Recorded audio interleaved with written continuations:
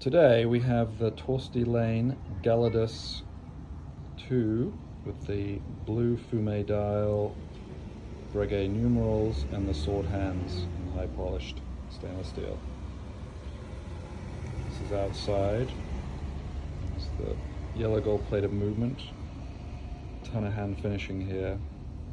Bevels, sinks for the jewels, the snailing on the ratchet wheel, and main barrel. Let's take a look at this as we go inside and see how it changes. Here it is.